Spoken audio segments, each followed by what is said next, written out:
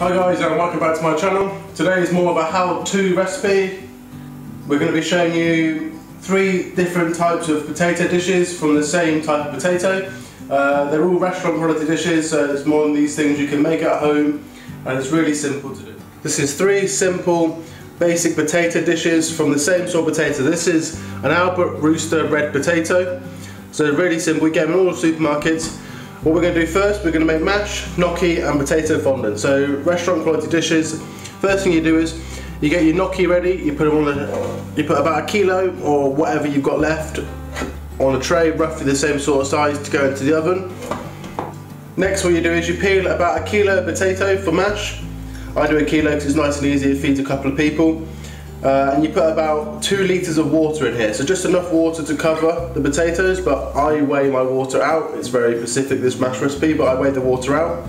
You'll need a little bit of cream for the mash, about a block of butter, so per kilo potato, it's 250 grams of butter, and about 50 grams of salt. So per litre of water, 25 grams of salt. So 2 litres of water, 50 grams of salt. It does seem a lot for now, but you don't eat the salt, it's only to flavour the potato.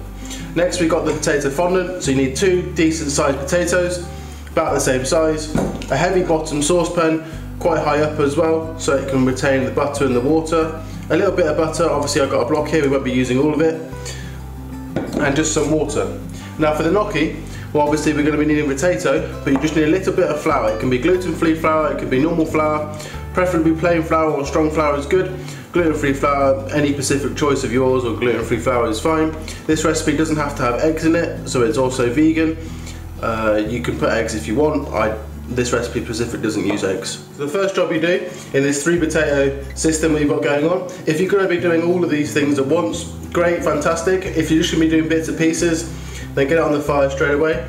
This is the gnocchi, so we're going to put this one straight in the oven now and start roasting the potatoes off. Some people put salt at the bottom to help draw the moisture out, or some people tin foil the potato. I just like to roast mine as it is because I don't like to waste too much salt. So we'll put this one straight into the oven. So the gnocchi's in the oven about 180, 190 degrees for about half an hour, 40 minutes. So whilst that's in the oven, next thing you do is you're to put the mash on the fire. So like I said before, it's one kilo potatoes peeled. It's the rooster red potato and two litres of water. Into the two litres of water we're going to put 50 grams of salt and give that a good mix around. Make sure the salt's all over and not just on one potato. And if you want to do less, obviously just do less depending on your family size. 500 grams of potatoes, fine. Obviously just reduce the recipe down and you just need a little bit less water. So obviously a litre of water, 25 grams of salt. As you notice my potatoes are whole. I don't cut them up too much because uh, it helps to not absorb too much of the salty water. The salt's there to flavour it, not to make it taste of salt. So we'll put this on the heat. We won't, we'll bring it up to the boil, but you do not boil it, just simmer it until it's just cooked. Don't break the potatoes up.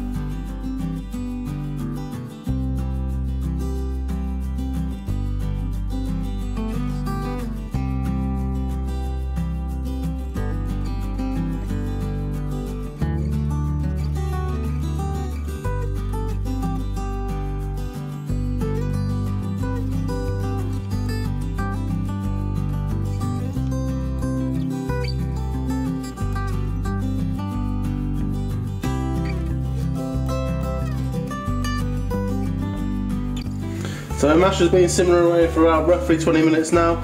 You just poke that with your knife gently as well. You don't want the potato to break up too much. Like I said, all the salty will go in, salty water will go into the potato and make it really too salty. This is just to make it taste delicious. So the potatoes now are just cooked. So I've strained my potatoes and they've all kept their shape nicely. Then you can let them steam now, so all the moisture gets evaporated in the air. What I do normally is I grab myself a nice clean kitchen towel or a tea towel and I just put it on top and that just helps for it to steam nice and slowly and all the steam comes out and then once that's done we're going to pass it through a, a ricer or in a masher with the butter at the same time. So now the mash is completely uh, steamed, it's not cold, you don't want it to be cold otherwise you won't be able to pass it through the masher properly. So then keep the pan you worked in, just drain off out any excess liquid inside. I'm going to we're to mash it into here. Now I've got myself a ricer. You don't have to use a ricer if you don't have one of these. You can just use a basic masher, but I would mash your potato first into this pan with the butter. So what I've got here is 250 grams of softened unsalted butter. The key is unsalted butter because your potatoes have already been cooked in salty water. So you're to take a potato, you're gonna put it in your ricer, and these ricers are great. I think I find they're brilliant because they make such smooth, lump-free mash. And all you're going to do is you're going to push down on the ricer and all the mash comes out nice and lump free, which is great. If you're making a dinner party mash, nice and quick, nice and easy.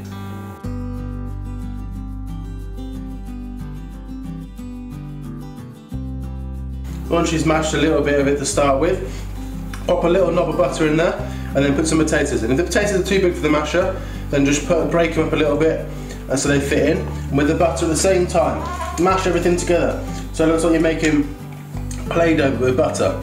And any bits which get on top of the top of the masher there, just scoop them off, put them inside as well. And then just keep repeating the process till you've used all the butter.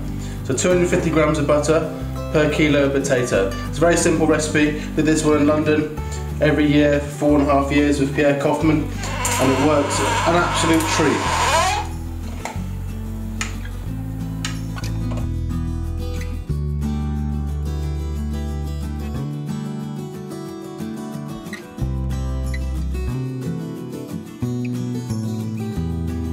Once you've got to this stage and all the potatoes nice and mashed together and all passed through the ricer or with a masher, just give it a good mix, all the butter's in there as well. You don't, you shouldn't need to season it because all the salt was already in the water.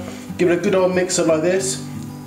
So you bring all the butter to make sure all the potato has butter in it. Then we're going to put it on the fire and we're going to dry it out.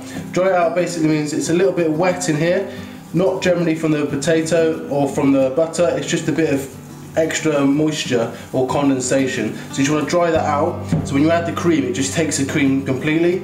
If it does split when you add the cream, add a little bit of milk because the fat content in milk is less than it is in cream. So now you've got your mash to this stage, just keep cooking it out, keeping the heat in and give it a good mix. Make sure you're drying it out nicely. Now here in this pan next to me I've got some cream, getting nice and hot. I don't add cold cream to my mash, it makes it really gelatinous and, and sticky and it's not very nice. So once your mash is like that, as you can see now, it's like a dry consistency, like that texture inside. You can just tell by it when you break it apart, it's just dry. So you could do with you could do with just adding the cream to it now, that's perfect stage. Just keep mixing it so it doesn't stick to the bottom, bring all that, that mixture up from the bottom to the top. Just give it a good old mix, making sure it doesn't stick. Then I've warmed the cream up already, so you're going to pop the cream in, a little by little. You can add more if you want, you can add less if you want. Entirely to you how creamy and, and rich you want it. Obviously this mash is, you can have it every day if you really want to, but it is quite rich. So give it a good mix now. Keep mixing up all the cream inside. If you think you need more cream, just one bit more cream up and pop it in. So once you got to this stage and it's nice and creamy and buttery, it's perfect. If it does go a bit shiny, which I mean by glossy where all the butter starts to come out, add a bit of milk to it and it'll be perfect.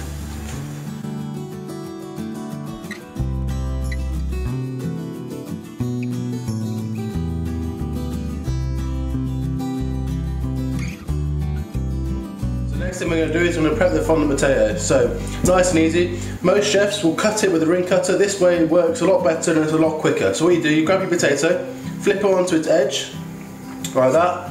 And with your knife, a big knife, preferably the size of the potato, you're going to cut off an edge, just straight down. You do the same again on the other side. If you want big potatoes, then cut off a little amount. If you want small potatoes, then cut off a bit more. So obviously, as you can see now, I have a potato with no edges on it. So nice and simple. I want to take up a little bit more of my potato because I don't want it that thick. So we're going to remove that side there. And then you just make sure it's nice and level. Keep these bits for later, you can use that for something else. And with your peeler, so grab yourself a speed peeler, just going to run your peeler all the way around the potato. And what this does, it refines the edge. So as you can see now, I have a nice clean edge potato here as well. And all you do now is just run your peeler around the edge and just make that edge a little bit softer so it's not like a, a really fierce pointy edge. Do the same on the other side. exactly the same process all the way around. It's nice and easy, nice and simple way of doing a fondant potato. So it's not it's not very chefy to do this at home because you can make this like this quite easily. You just got to curve it around. You can do everything with a peeler these days. You can even turn your potato with it or your vegetables. So just like that, and then you have a potato fondant. So you repeat the process again with the other one.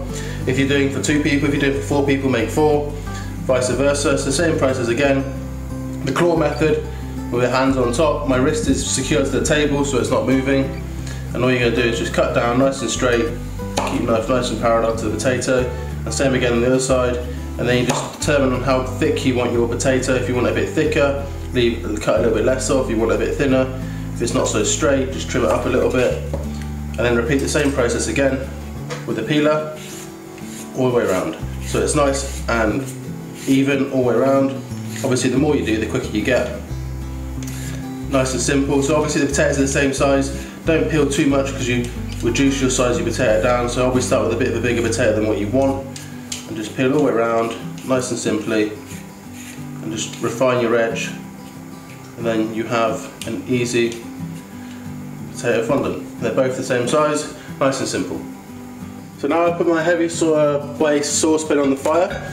I'll add a little bit of oil. If you have clarified butter, which is just melted butter separated from the fats, so you can put that in there as well. You want a nice high heat on here. And you put the potato in, make sure they're nice and dry. So if you ever dab it on a bit of a kitchen roll, just to dry the potato starch out of it from when you peeled it, this will just help it form a nice little crust. So pop that in there like that.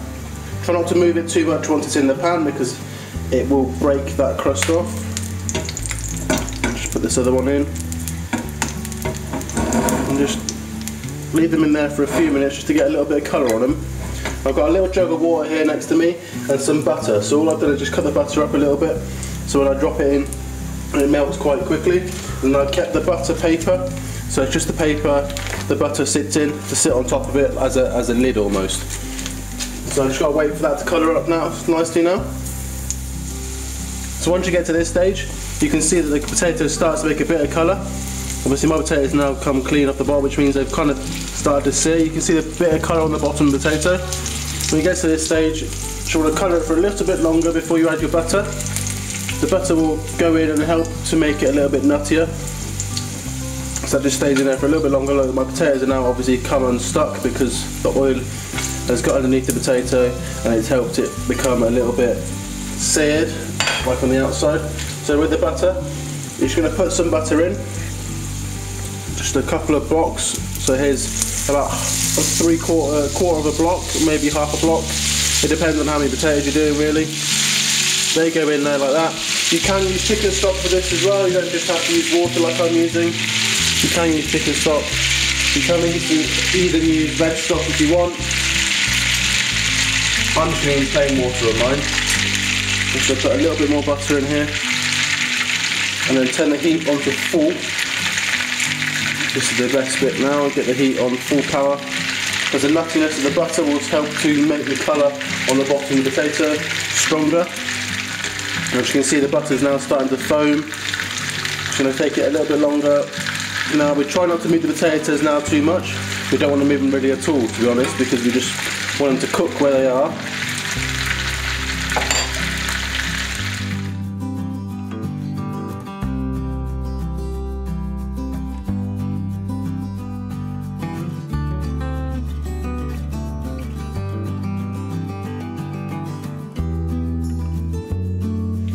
Now you can see the butter start to foam and go really frothy. You can see by the edge of the pan it's starting to go a bit nutty.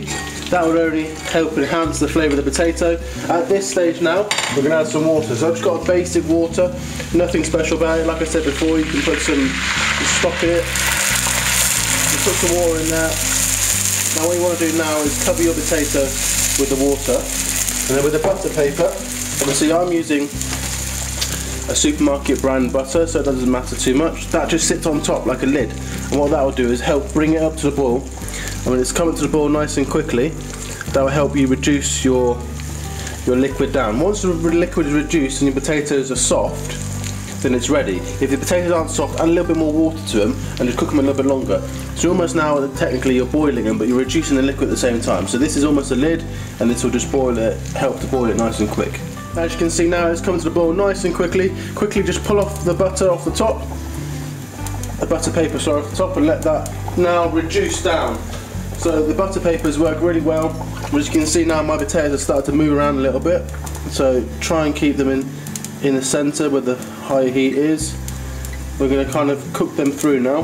These potatoes work the best for this, they don't break up when you cook them like this. Now you've got to reduce that right down and when that's cooked, potatoes should be nice and tender with a knife like here. As you can see now they're really hard, but they should be nice and tender when they're cooked.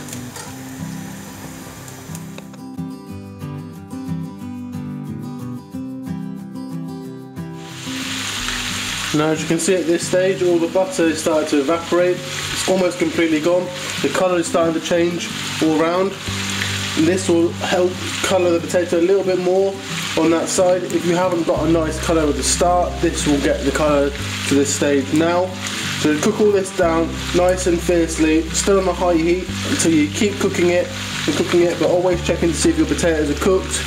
Mine are almost there my knife just slipping through it gently so just a little bit longer and then we should be ready to go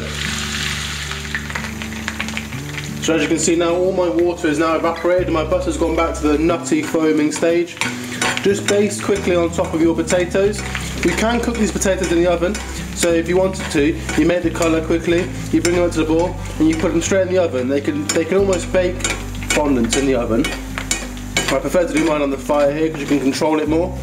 Just keep basting a little bit there, just make sure you cover all your potato. Quick little stab to make sure they're cooked. If they're not cooked at this stage, add a splash more water. I need a splash more water in mine, just a little bit, just to help bring back that butter, and that will just help finish off the potato. And we just cook that out a little bit more. So as you can see now it's almost completely evaporated all the butter and the water. My potatoes are nice and soft now, they're nice and cooked.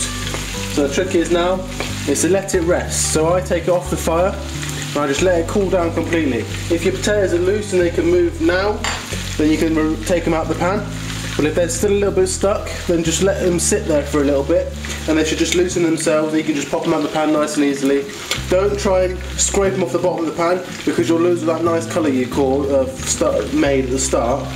Just let it rest for a little bit like you're doing with a bit of meat or a bit of fish and then you can just take it off the bottom of the pan nice and easily. As you can see now, the fondant's been sat for a few minutes, they're nice and rested and the potato is now loose off the bottom of the, the pan. You take your potato, you flip it out or you flip it over in your pan, sorry, like that. So now you can see nice colour and a nice crust on top. The ideal world is let it drain for a minute on some J cloth if you're using it straight away. If you're using it for a dinner party, it's great. Just pop them there, flip them out. And be very careful of it not to scratch the bottom off the potatoes so you lose all that nice colour you just made. And there you go, there's your two perfect potato fondants, nice and soft in the middle, a little bit crispy on the outside, nice colour.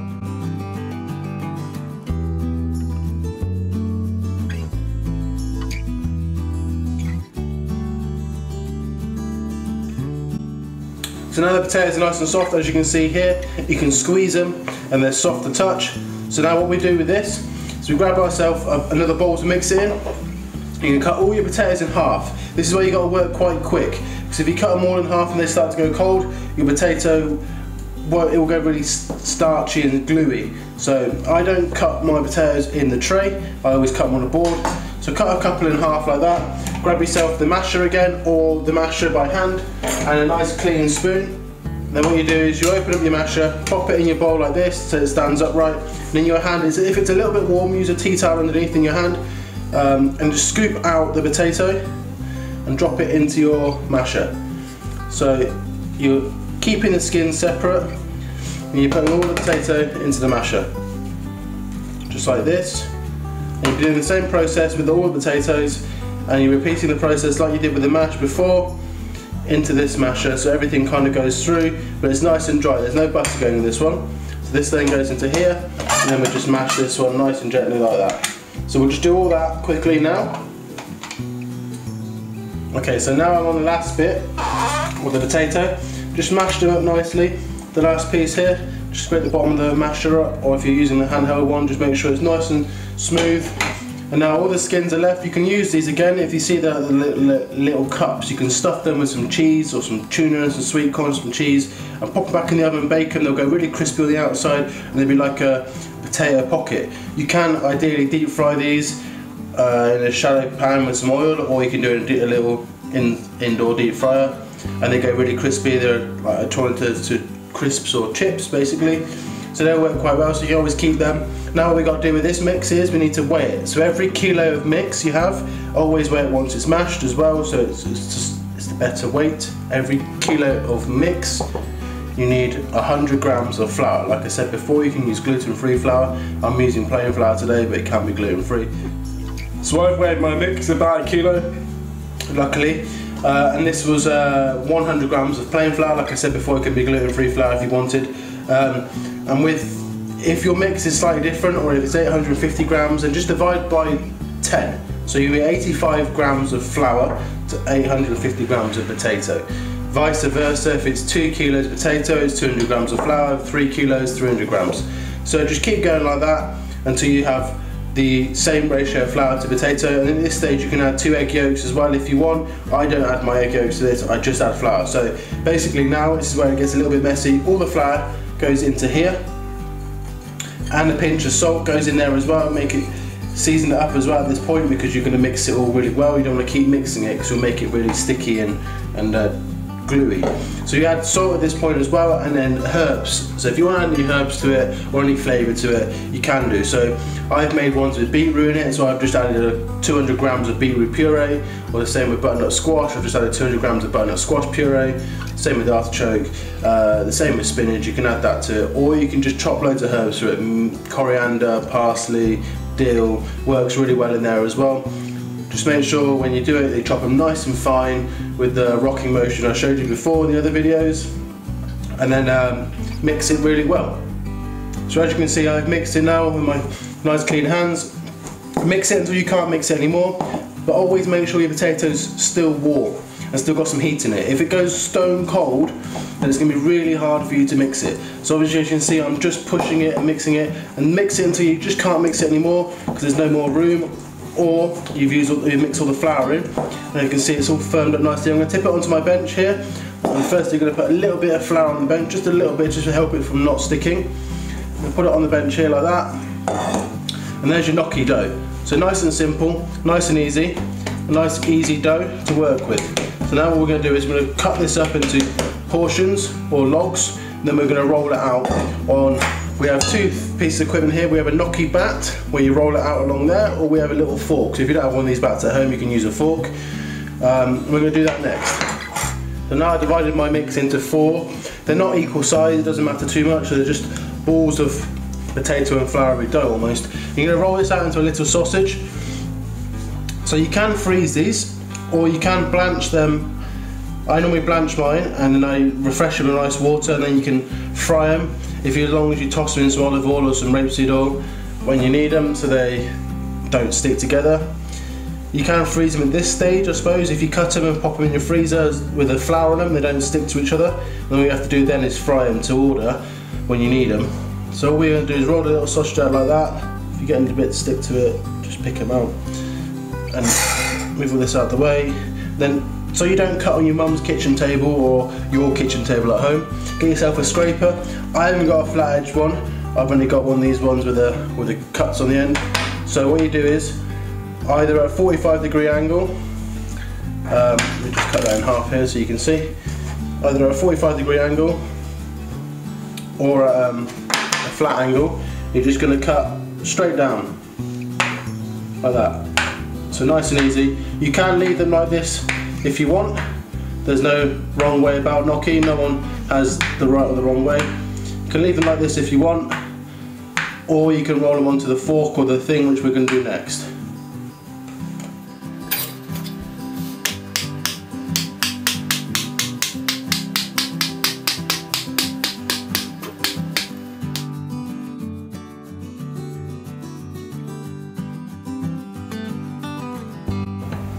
So as you can see I've already rolled some of these out already.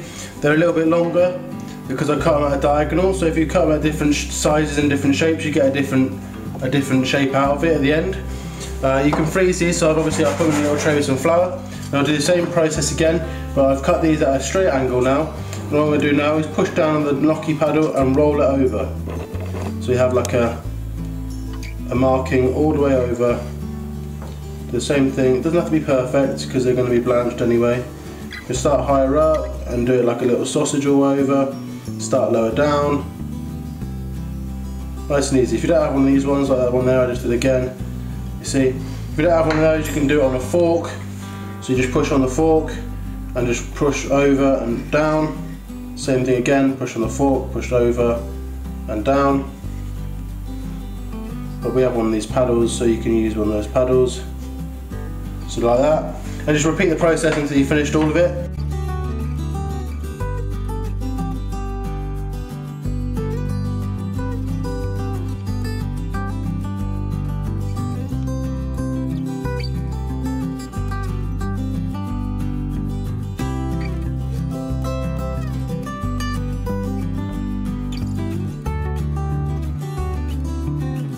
So as you can see, I'm just going to keep rolling them out and then I put them in this tray. I flour them nicely, so give them a good mix so they don't stick together.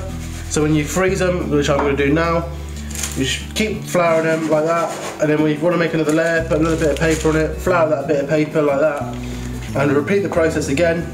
If you want them straight away, like I said before, just boil them, blanch them. You can fry them straight away from scratch, you don't have to blanch them. The only issue you have is that you need to cook it on a lower temperature when you're frying them so you don't burn it before it's cooked in the middle.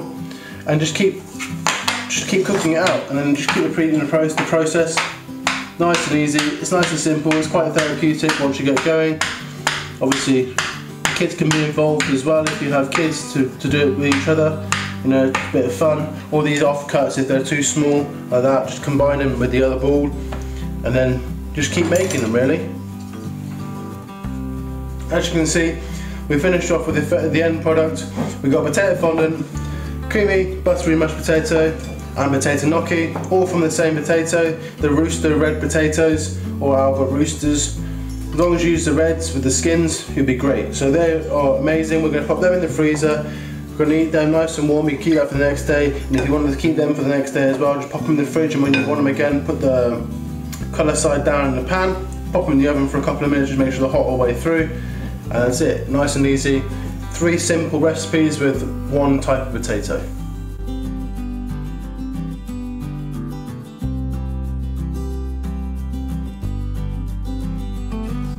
I hope you enjoyed this video guys, thanks for watching. Make sure you hit the like button and subscribe and make sure you tune in for the next couple of videos coming up soon. Hope you enjoyed this potato three different types of ways as a how-to video. Hope that's more of an interesting video and hope to see you guys in the next one.